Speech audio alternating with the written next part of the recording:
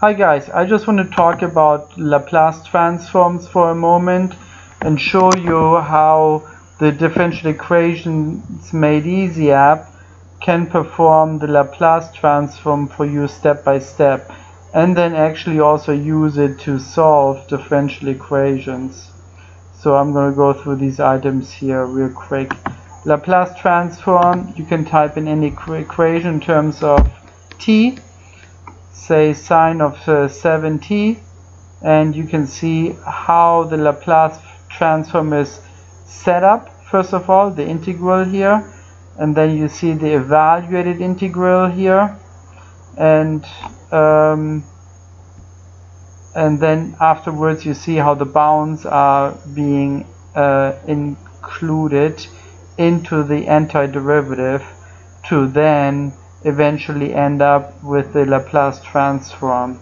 Notice if you change the original function immediately your answer changes. Okay the 3 was added here here here. Okay and that of course works for any function and it works real quick. Okay so here we go. So that's how you do step by step Laplace transform um, also, instead of doing the interval using the interval from 0 to infinity, you can determine your own interval. Okay, if you want to go, let's say, from 0 to 3 um, of sine of t, you will end up step by step again with this Laplace transform. So, of course, if you would uh, enter here infinity, you would get uh, what we had before. Um, we can also, of course, do the Laplace transform of a unit step function. Just uh, indicate the shift that you want to use. Let's say shift of 3, then you see the uh, definition of the unit step function here, and the Laplace transform of the unit step function is then uh, shown right here.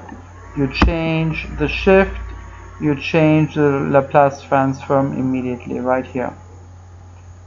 Of course, we also have a table of Laplace transforms that shows all the rules okay, of uh, the most common Laplace transforms. So that's a nice way for you to look up the definitions. We have the same, of course, also for Fourier transforms.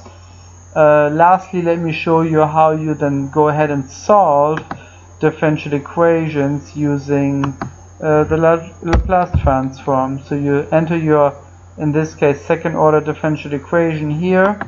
You scroll up and you see how these polynomials are used to um, rewrite a the differential equation and then you actually do the Laplace transforms and yeah after a lot of transformations and simplifications we end up with the Laplace transform of this differential equation as this.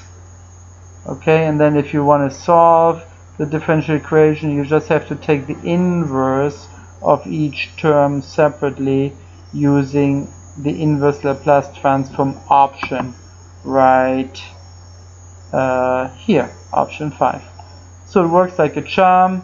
Remember to see the steps for any function in the world t to the 5 here it is to the 5 you end up with 120 over 6 to the s which of course uh, is, can also be seen in the table of Laplace transforms.